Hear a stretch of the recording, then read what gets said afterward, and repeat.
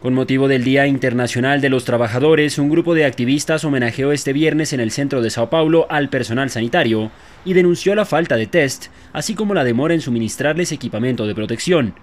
Armados con máscaras y cruces blancas para recordar a los compañeros que han fallecido por la enfermedad, los manifestantes quisieron también transmitir un mensaje de concienciación para que la población se quede en casa.